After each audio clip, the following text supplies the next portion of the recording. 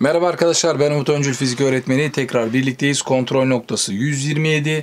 Doğrusal hareketin kontrol noktası bu. Aslında hareketle ilgili kontrol noktası testlerimiz var ama özellikle sadece ve sadece hani TYT fizik paketini alan ben TYT ile ilgili olarak ayrıca bir şeyler görmek istiyorum diyen arkadaşlarımız için yani ayarladık. Yani sonuçta bir şeyler yaptık. Biraz daha kalabalık oldu dikkat ederseniz. 11 tane soru oldu. Bakalım şimdi bu yanıt anahtarını siz aldıktan sonra sorularda neler var neler yok. Şimdi evet ilk sorumuz hani sonuçta alınan yol yer değiştirme. Yani son sınavda biliyorsunuz biz bu işe 2019 hani yılında şu anda devam ediyoruz. Bakalım bu bir hatıra olacak şu anda. Bu soru e, sürekli olarak geliyor karşımıza. Alınan yolla yapılan yer değiştirmeyi ayırt etmenizi istiyor. Neydi klasik olarak yaklaşım? Bir A noktası var. Siz de B noktasına geleceksiniz.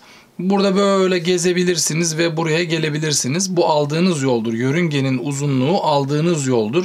Ama yapılan yer değiştirme nereden başlayıp sonuçta nereye gittiyseniz çizilen en kısa vektör o yer değiştirmemiz olur.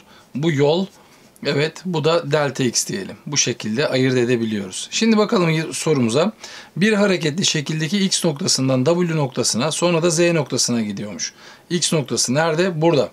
İşte efendim W noktasına geldi W noktasına. Ondan sonra ne yapıyormuş? Sonra da Z noktasına gidiyormuş. Yani geri dönüp Z noktasına kadar geliyor. Şimdi yörüngenin uzunluğu belli bak. Bu çizginin uzunluğu oluyor. Bunu doğrusal hale getirdiğiniz zaman bu bir ip gibi düşünülürse bunun uzunluğu oluyor. Yani sen hepsine bakacaksın. Aldığı yol 10 metre.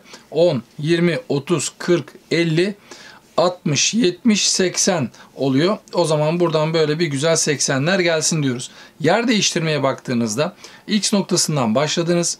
Sonuç olarak Z'ye geldiniz. O zaman ne olacak burada? Şöyle bakarsanız şöyle bir yer değiştirmemiz var. O zaman 10, 20 olmuş oluyor yer değiştirmesi. Çünkü X'ten Z'ye çizilecek en kısa vektör o oldu. E, o zaman da sorumuz Denizli'ye gitti. Evet birinci soru böyle patladı. Şimdi efendim bir koşucu yarı çapı 30 metre olan çembersel bir pistte sabit süratle koşuyor. Şimdi çembersel bir pistten bahsediyoruz. Şöyle bir şey. Yarı çapı olacak bunun tabii ki de. Arkadaş burada koşuyor tamam mı? Böyle takılıyor diyelim ki. Yarı çapı 30 metreymiş. Onu da yazalım. 30 metre diye böyle bir belirtelim. Koşucu pist çevresindeki bir tam turu 10 saniyede atıyormuş. Yani bir turu atması sürat e, bulunacak herhalde bakalım. Yer değiştirme falan filan bir şeyler. 10 saniye oluyormuş bir tur. Şimdi bakarsanız ilk önce bir hızımızı bulalım. Yani x eşittir vt tadında gideceğim. Burada alınan yol x olacak. Bir tur attığı zaman aldığı yol çevre kadardır. 2 pi r yazarım. Böyle yaptım. 2 pi'yi de bak 3 alın diyor. 3 yarı çap neydi? 30. Hızımı bir bulayım da kaç saniyede yani bir tura atmıştım? 10 saniyede atmıştım. Şu da şuradan gitti. O zaman ne oldu? 9 18 oldu. V eşittir 18 hani sonuçta metre bölü saniye karşımıza geldi. Hızımı buldum. Diyor ki 25. saniyedeki yer değiştirmesi yani sonuç olarak nedir denmiş. Şimdi baktığınız zaman 25 saniye diyor ya hani ben bunu buldum hızımı buldum güzel oldu. Şöyle bir bakalım şimdi dikkat dikkat. Şimdi efendim hani daha kolay ifade etmek için buradan gösterdim ama şuradan başlatayım ben bunu. Bir turu 10 saniyede attın ya. E o zaman ne olacak? 2 tur atmış olacaksın. Ben bunu böyle yaptım ama hızı bulmaya gerek yokmuş. Soruyu okusaydım benim için çok iyi olurmuş yani. Neyse biliydim böyle olacağını. Yani siz siz olun benim gibi olmayın soruyu okuyun. Ben hızı bu da yani sorarlarsa böyle bulunuyor demek için buldum da. Şimdi bu bir tur attı mı 10 saniye. ikinci tur attı mı 20 saniye. 5 e, saniye daha geçti. O zaman sen nereye geldin? Bu noktadan tam karşıya geldin. Yani çap olarak hani bir şeyler oldu galiba. O zaman yarı çap 30, burası da 30. Karşıya geçmiş gibi. Yani sen bir sürü yol almış olabilirsin. iki buçuk tur atıyorsun sonuçta. Alınan yol maşallah. Hani ben öyle bir şey mi soracak acaba diye soru hızı buldum. Onunla çarpacaktım. Boş verdik. Tam karşıya geçmiş. O zaman tabii ki de çap kadar yol alırsın. 60 metre yol alırsın diyoruz. Devam edelim. Yukarıda verilen hareketlerden hangileri öteleme hareketidir? Titreşim hareketi var. Yani e, dönme hareketi var. E bir de ne var? Öteleme hareketi var. Titreşim hareketi yani sonuçta ne yaparsan yap sürekli olarak aynı hareketi yapman gerekiyor. Yani böyle bir sarkacın mesela yaptığı hareket yani titreşim hareketi olarak örnek verilebiliyor. Yani bunu söyleyelim. Bu ama sürekli aynı hareketi yaptığı için. Şimdi viraj alan e, aracın yaptığı hareket dönme hareketidir arkadaşlar. Gitar teline vurulduğunda telin yaptığı hareket titreşim hareketidir. Ama kuleden serbest bırakılan bir taşın yere düşmesi çot diye böyle doğrusal bir şekilde bir noktadan bir başka noktaya gidiyor. E, o öteleme hareketine örnek olarak verilebilir. Üçüncü soru Ceyhan oluverdi bile. İlerleyelim. Hız ve sürat kavramları için sürat alınan yol bölü zaman şeklinde hani belirli bir zaman aralığında ne kadar yol alıyorsun hani onun karşılığıydı. Hız ise belirli bir zaman aralığında ne kadar yer değiştirme yapıyorsun tadında bir şeydi. Şimdi bunlara baktığımız zaman yargılarından kaç tanesi her iki nicelik içinde doğrudur deniyor. Her iki nicelik içinde doğrudur. Şimdi e, türetilmiş büyüklük, temel büyüklük. Bunlarda sonu yok bu işin. Siz o zaman ne yapacaksınız? Temel büyüklükleri hatırlayacaksınız. Kısa muz diye bunu yani defalarca zaten her yerde görmüşsünüzdür. Bunların içinde ne hız var ne de sürat var. O zaman türetilmiş büyüklük lafı her ikisi için de doğru oluyor.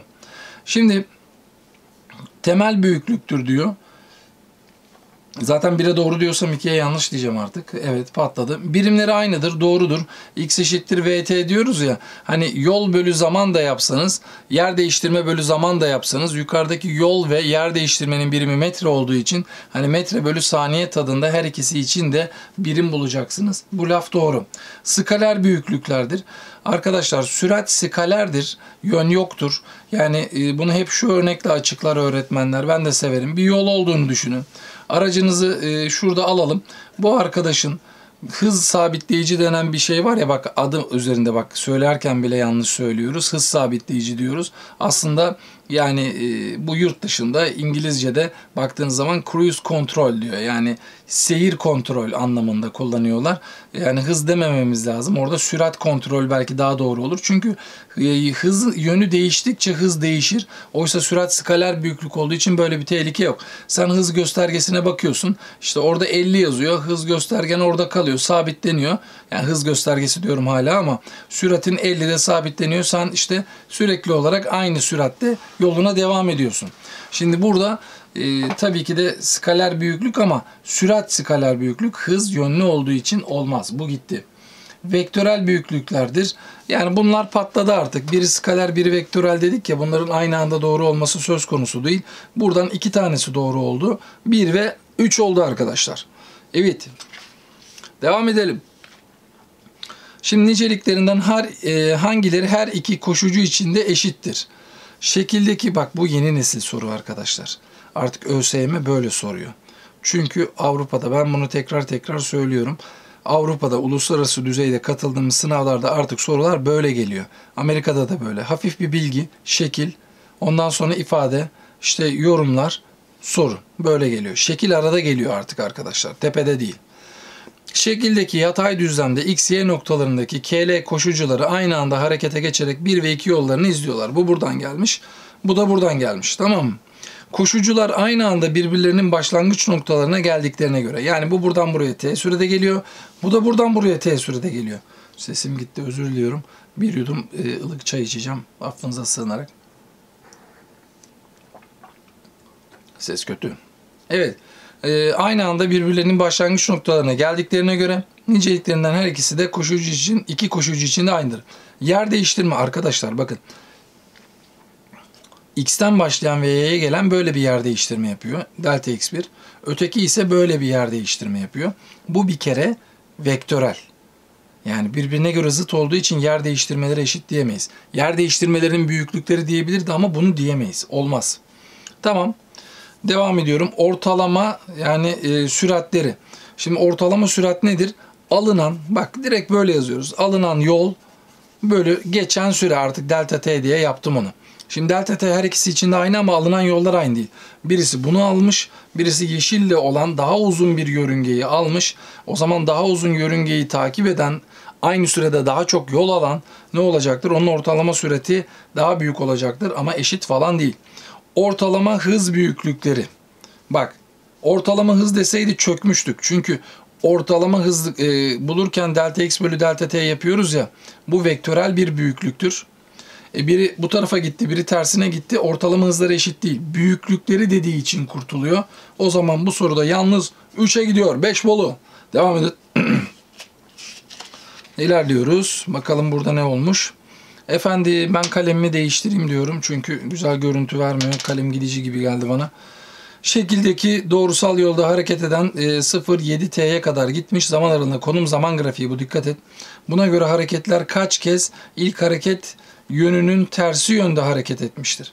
Şimdi bak burada konum olduğu için bu pozitife çıkıyor. Burası pozitif. Pozitif. Bak pozitif yönde gidiyor. Hala pozitife doğru gidiyor. Buraya bakıyorum negatif. Negatif. Durmuş. Bu zaten yok yani. Burada pozitif. E burada da pozitif oldu. Doğru mudur? Yani o zaman e, kaç kez ilk hareket yönünün tersi yönde hareket etmiş? Bak bir şu aralıkta bir de şu aralıkta yani yapmış sonuç olarak. O zaman iki noktada bu olay gerçekleşmiş. İlk hareket yönü pozitifti. Negatife gittiği yönleri yani yerleri soruyordu bize. Biz de söyledik. iki dedik. Şimdi buna baktığımız zaman şekilde t eşittir 0 anında yan yana olan k ve l hareketlilerinin doğrusal yoldaki hız zaman grafiği verilmiştir.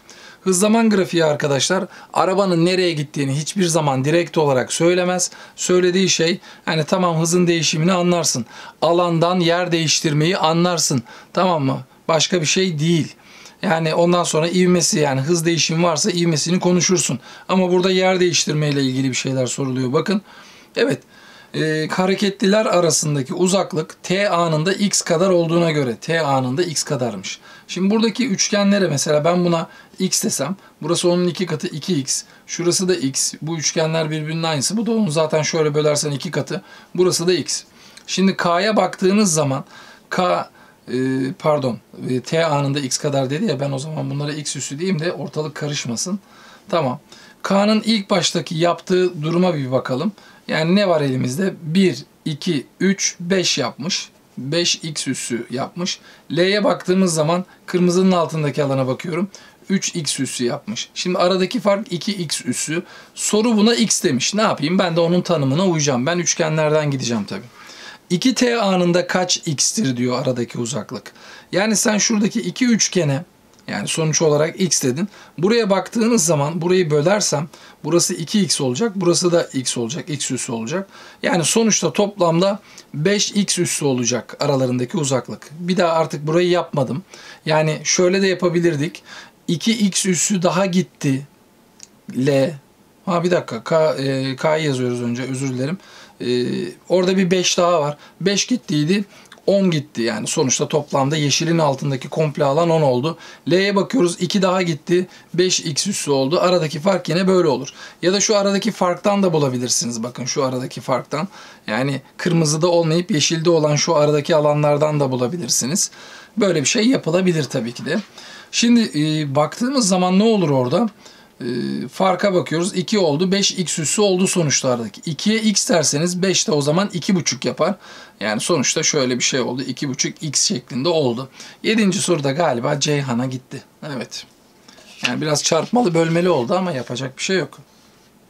Efendim konum zaman grafiği var karşımızda. Doğrusal bir orada hareket eden bir aracın konum zaman grafiğini verdik diyor. İşte böyle diyor. Buna göre 0-6 e, saniye aralığındaki aracın ortalama sürati neydi? Alınan yol hemen yazalım. Alınan yol evet bölü geçen süre artık delta t diyorum. Şimdi ben geçen süre nedir? 0-6 saniye diyor. Zaten 6'ya böleceğim. Yolu bulmalıyım. Şimdi buradan buraya gittim ben bir. Eksi 12'den 12'ye giderseniz 24. Sonra da geri dönüyorsunuz. Bakın şöyle dönüyorsunuz. Nedir burası? Burası da 6. 24. 6 daha geldi. Ne yaptı? 30 yaptı.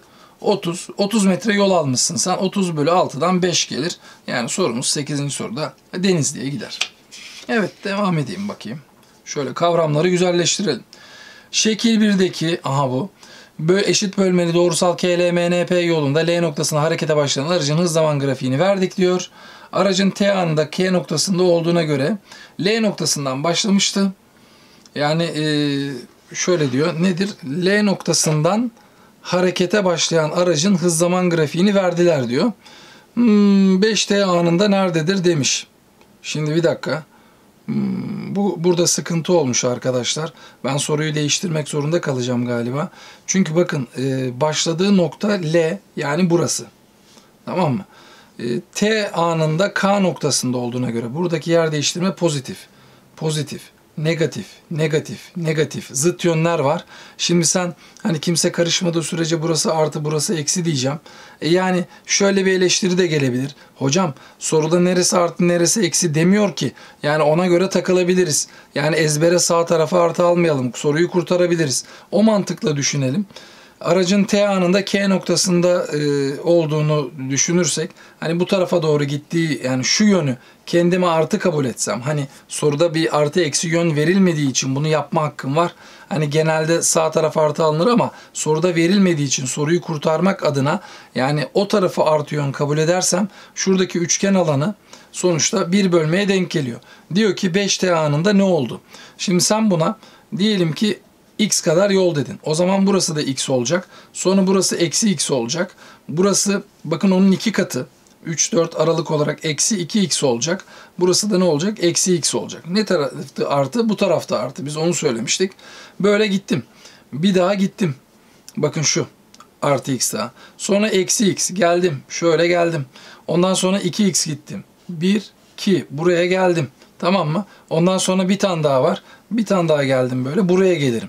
Yani dokuzuncu sorumuzda o zaman n noktası olur. Yani her zaman artı eksi illa bura artı bura eksi olacak diye değil. Soruyu kurtarabiliyoruz. Öyle inadına hani böyle ya orası eksi yanlış oldu falan demeyelim. Ben de ilk önce bak orada tereddüt ettim ama soruya baktığım zaman hiçbir yerde nerenin artı nerenin eksi olduğunu belirtmediğimiz için hakkımız oldu. Evet 10. sorumuza geldik. Bakalım burada neymiş? Doğrusal yolda hareket eden aracın ivme zaman grafiği şekildeki gibidir. Aracın 6. saniyedeki hızı 0 olduğuna göre t eşittir 0 anında nedir? Burada arkadaşlar ivme demek hız değişimi demektir. Alan hızdaki değişimi verir. Alan hızdaki değişimi verir. Çok net. İvme zaman grafiğinde alan. Yani neden? Bak şimdi şöyle basit bir grafik üzerinden gidelim. Burası A. Burası T dediğiniz zaman. Yani şu alan neyi verecek bana? Mesela benim ivmem 4. 3 saniye sonra hızım ne olur? Ne demek bu? Dörder dörder hızlanıyorum. 3 saniye sonra hızım 12 olur. Aa şansa bak alan da zaten 12. Yani ivme zaman grafiğinde alanın yani sonuç olarak işte yani hız değişimini vermesi bu mantıkla açıklanabilir. O zaman burası bak artı 12 alan. E buraya bakıyorum burası 2. Burası 6 üçgen alanı. O zaman ne oldu? 6 buradan gelecek. Taban çarpı yükseklik bölü 2. Burası 2. Burası yani sonuçta eksi 12. Burası ne yapar? Eksi 24 yaptı. Şimdi baktığınız zaman burada galiba hızdaki değişim yani gayet gayet eksi 6 metre bölü saniye oluyor. E şimdi sen hızını eksi 6 metre bölü saniye değiştirip de sıfır yapıyorsan yani şöyle yapabiliriz. İsterseniz böyle olsun. V son eksi V ilk diyelim. Hani delta demek bir şeyin değişimi demek. Son eksi ilk demek. Hız değişimi nedir? Eksi 6. V son ne? 0. E bana V ilki soruyorsunuz siz. O zaman V ilk ne olacak buradan? 6 metre bölü saniye. Ya da dediğim gibi baştaki hızınız neydi ki hızınız eksi 6 değişince siz 0 oldunuz? 6 olunca olur yani. Bunu uzatmaya gerek yok. Devam edelim. Şöyle geldik. Evet birbirini geçme soruları sabit hızlı hareket için, düzgün doğrusal hareket için vazgeçilmezdir. Trenler, otobüsler, arabalar neyse birbirini geçen belirli uzunluktaki vatandaşlar. Şimdi burada baktığınız zaman hızlı olan şu geriden gelen ya mecburen hani birbirini geçmekten bahsediliyor. Şimdi siz burada e, sonuç olarak hani bağıl hızdan da yapılabilir. Diyelim ki siz burada atıyorum kafadan 10 ile gidiyorsunuz. Buradan yanınızdan 30'da biri geçmeye başlıyor. Siz 30 görmezsiniz. Kendiniz duruyor kabul ettiğiniz için onun 20 ile geçtiğini düşünürsünüz. Yani ikisinin hızlarının arasındaki fark kadar bir hızla sizin yanınızdan geçtiğini düşünürsünüz. O zaman bakın tamamen geçmek demek ne demek? Şuna göre y'ye göre yaptım. Bu yolu aldınız demek. Net. Ne oldu? X artı y kadar şöyle yapalım. x artı y kadar yol alındı. Hızlarının hani e, tabii ki de farkı olacak burada. vx pardon evet vx eksi vy oldu. Çarpı ne? İşte e, efendim t1 t e, ne o t2'nin 3 katıymış. Yani buna 3t diyelim. Buna da t diyelim. Yazıyorum o zaman buraya 3t yazdım bile. Buraya baktığınızda da değişen bir şey yok. Hani bakarsanız şöyle yani birini duruya kabul ediyorum. Yine bak mesela burada bunu duruya kabul ettiğimde bu ters yönde geçtiği zaman sana çok hızlıymış gibi gözükür. İkisinin hızlarının toplamı kadar bir hızla bu yolu aldığını düşünürsün. Sen yine kendini duruya kabul ettiğin için. Yani yol aynı bak dikkat ederseniz araçların boylarının uzunlukları. O zaman burada da Vx artı Vy oluyor. Yani çarpı burada da T olmuş oluyor. Şimdi bunları taraf taraf oranladığınız zaman bunlar gitti. Şöyle güzellikler gitti. E, ne olacak? E işte burası yani 1 olacak. Burası 3 olacak. Farkları yani sonuçta 1 toplamları 3 olacak. Bu arkadaşlar ne olur? 2 ile 1 olur. Bak bu 2 olur. Bu da 1 olur. Farkı 1 toplamı 3. Yani artık içler dışlar çarpımı yapmadım bile. E, oran nedir deniyor. 11. soruda Ceyhan'a gidiyor arkadaşlar. Evet dinlediğiniz için teşekkür ederiz. Bunları sonuçta ben hani e, bilerek böyle 11 yaptım. Hocam 8'di genelde niye 11 oldu derseniz bunlar arkadaşlar kitaba hazırlık. Yani onun sayfa düzenine hazırlık. Yani yavaş yavaş kitap yazılıyor. En kısa sürede tamamlandığında sizlere tabii ki de e, gönderilecek. Tabii bu kampanya döneminde alanlar için geçerli. Ona bakacağız artık. Bakalım ne zaman tamamlanacak. Dediğim gibi ne zaman tamamlanırsa ha, yanlışlık olmasın yani. Evet dinlediğiniz için teşekkür ederim. Bir başka videoda görüşmek üzere diyoruz. Esen kalın.